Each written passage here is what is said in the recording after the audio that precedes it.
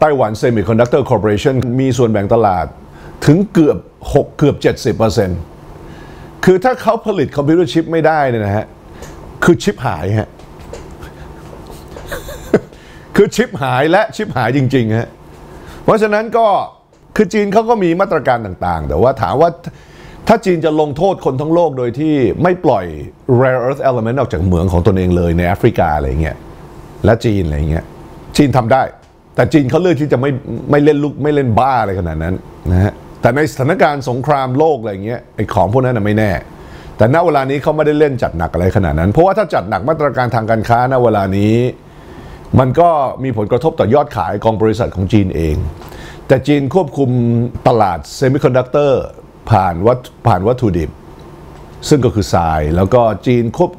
จีนสามารถควบคุมตลาดเซมิคอนดักเตอร์ได้ ถ้าจีนยึดไต้หวัน แล้วก็ nationalize ไต้หวัน Semiconductor Corporation ซึ่งทำได้ถ้าจะทำจีนควบคุมเหมืองที่ผลิต rare earth minerals ให้กับรถยนต์อิเล็กทรอนิกส์แล้วก็โทรศัพท์มือถือ แล้วก็คอมพิวเตอร์ แล้วก็แทบจะทุกสิ่งทุกอย่างที่เราใช้อยู่ในบ้านอะไรพวกนี้นะฮะ อุปกรณ์อิเล็กทรอนิกส์ชั้นนำเนี่ยใช้ rare earth element ทั้งนั้น จีนควบคุมตลาดนั้นเนี่ยนะฮะประมาณร้อยละเจ็ดสิบ นะอีกหลายอย่างฮะหลายอย่างมีบทความซึ่งอธิบายถึงศักยภาพของไต้หวัน Semiconductor Corporation ที่ Manager เขาลง แล้วมันเป็นข้อมูลเกี่ยวกับโมเดลในการเติบโตของ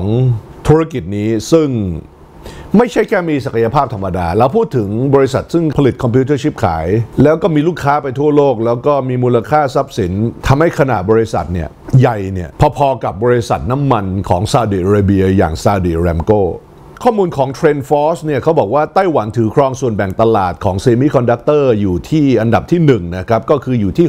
66%ในปี 2022 โดยบริษัทซึ่งมีสัญชาติจีนไต้หวันเนี่ยนะฮะก็คือสัญชาติไต้หวันเนี่ยนะฮะ TSMC เนี่ยนะฮะถือครองส่วนแบ่งตลาดอันดับที่ 1 ตามมาด้วยอันดับที่ 2 ซึ่งก็คือซัมซุงของเกาหลีใต้ แต่เกาหลีใต้มีส่วนแบ่งตลาดเพียงแค่ 18% เพราะฉะนั้น Thailand Semiconductor Corporation มีส่วนแบ่งตลาดอยู่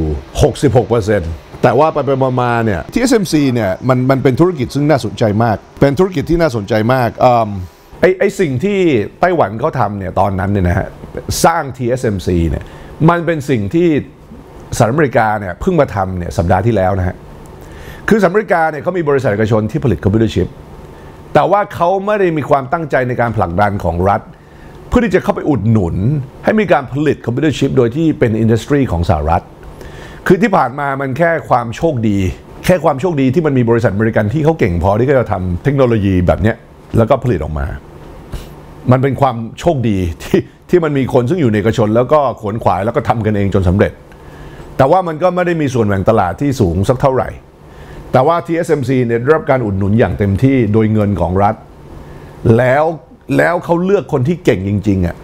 ไปเป็นคนทำภายใต้เป้าหมายดังกล่าว รัฐบาลไต้หวันได้จัดสรรเงินทุน ก่อตั้งสถาบันเพื่อการวิจัยและพัฒนาเทคโนโลยีอุตสาหกรรม หรือ Industrial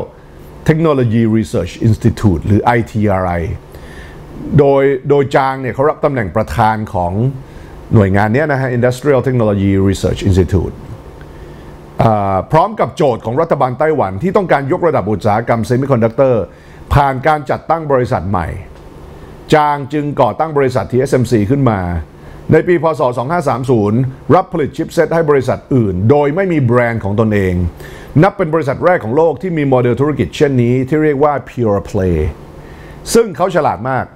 เขามองเลยว่าไต้หวันจะผลิตเซมิคอนดักเตอร์คอมพิวเตอร์ชิปเนี่ยนะฮะ ป้อนให้สู่ตลาดโลก โดยที่ไม่ต้องสนใจยี่ห้อที่จะป้อน แล้วก็ไม่ต้องสนใจยี่ห้อของตนเองถามท่านผู้ชม ถามท่านผู้ชม ผมถามตัวผมเอง จนถึงวันนี้ก่อนหน้านี้เรารู้จักไหมไอ้บริษัทเนี้ยเราไม่ต้องรู้จัก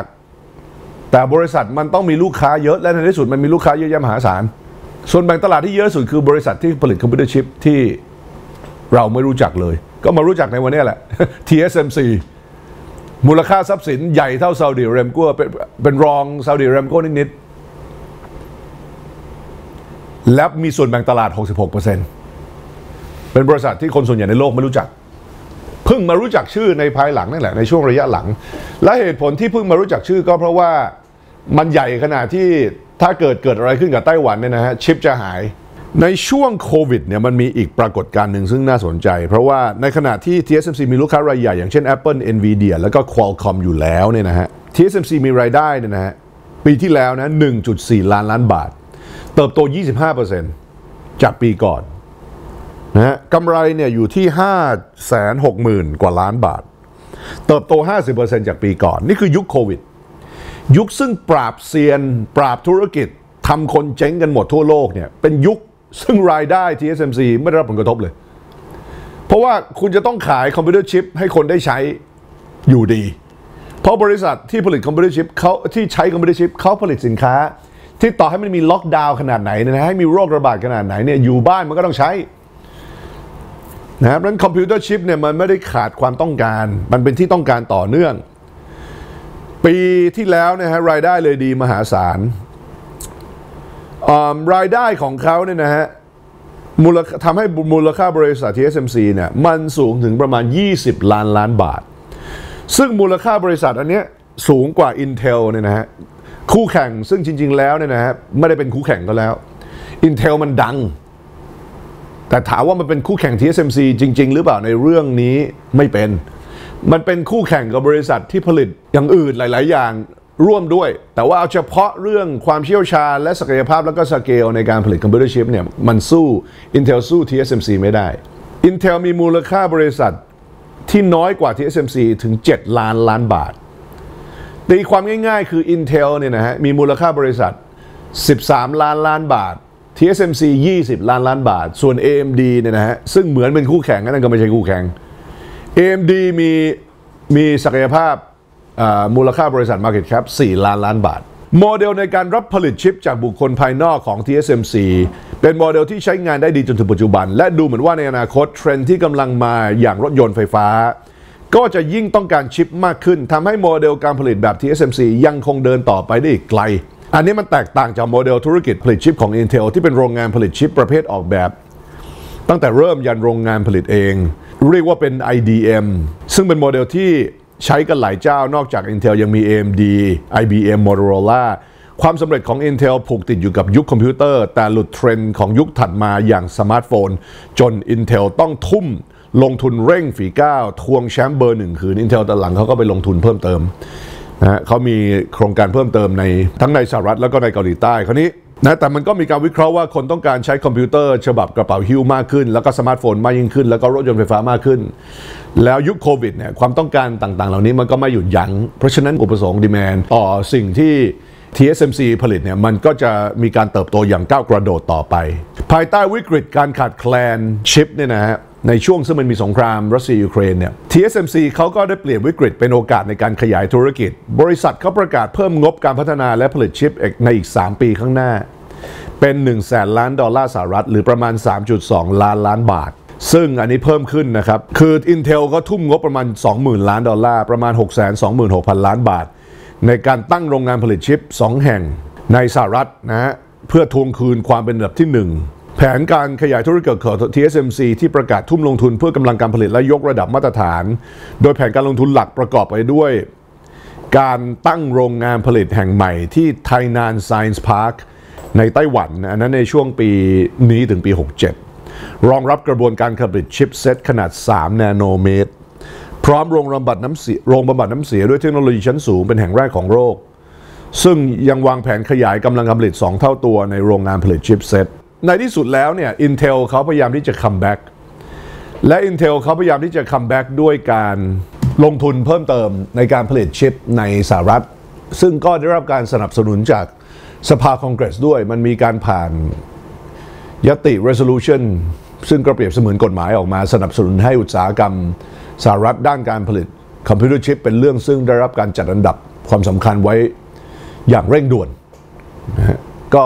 แต่ว่าอย่างไรก็ดีมันคือเงินของ Intel ในการลงทุนสร้างโรงงานผลิตชิป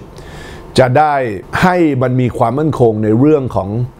การป้อนวัตถุดิบนะฮะหรือปัจจัยหรือวัสดุ ซึ่งเอาไว้ใช้ในการผลิตสินค้าในหมวดอิเล็กทรอนิกส์ทุกประเภท ในที่สุดเนี่ยนะเมื่อเศรษฐกิจสหรัฐมันพึ่งพาอาศัยการใช้คอมพิวเตอร์ชิปอย่างมหาศาลในการผลิตทุกอย่างตั้งแต่รถยนต์ไฟฟ้ายันโทรศัพท์มือถือเนี่ย